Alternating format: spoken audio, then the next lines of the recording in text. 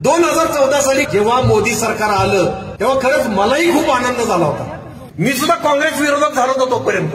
मलाही वाटत होतं खूप भ्रष्टाचार होतो अण्णांचं आंदोलन झालं होतं त्याचा परिणाम होता. नाही नाही आता मोदी आले पाहिजे अच्छे दिन येणार असं वाटायला लागलं. शंभर दिवसात काळा पैसा परत आणणार म्हटले ते. प्रत्येकाच्या खात्यावर पंधरा पंधरा लाख येणार. म्हटलं काही नाही झालं तरी चालेल. एक पायरी जरी आपण आत्ता आहोत त्यापेक्षा वर गेलो तरी बस.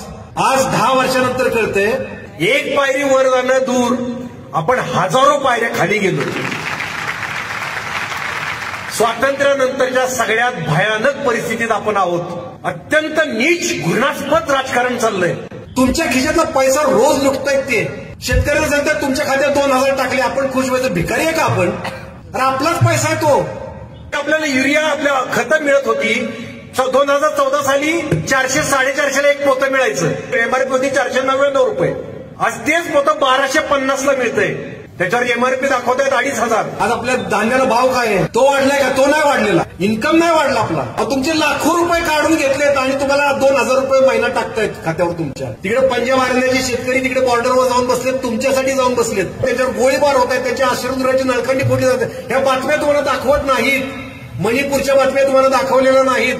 आपल्या भगिनीनं निर्वस्त्र करून फिरवले महिला सबलीकरणाचं सगळ्यात मोठं उदाहरण कुठलं तर महिला कुस्ती खेळायला लागल्या. पुरुषांच्या बरोबरीच उभ्या राहिल्या. त्या कुस्तीगीर महिला रस्त्यावर आल्या आमचं लैंगिक शोषण होतंय.